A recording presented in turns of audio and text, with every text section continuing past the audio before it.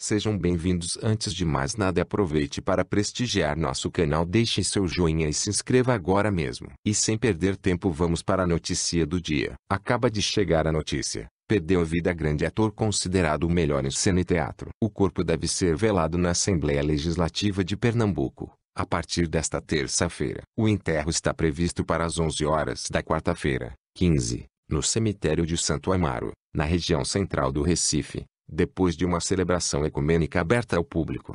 A família falou que, a pedido dele, o corpo vai ser sepultado com o figurino de Jesus, que o ator usava na Paixão de Cristo. Morreu nesta terça-feira, 14, o ator, escritor e diretor de teatro José Pimentel, de 84 anos. Ele estava internado no Hospital Esperança, na área central do Recife, desde quinta-feira, 9, por causa de um enfisema pulmonar. O artista é conhecido por interpretar Jesus nos espetáculos da Paixão de Cristo do Recife e de Nova Jerusalém, no interior de Pernambuco. Veja vídeo acima. Em outubro de 2017, Pimentel foi incluído na lista dos patrimônios vivos de Pernambuco, justamente por interpretar Jesus na Paixão de Cristo por mais de 40 anos. Em 2018, foi a primeira vez que o ator não interpretou o papel na capital pernambucana, apesar de ter participado da produção. E aí, o que você achou? Deixe seu comentário. Obrigado.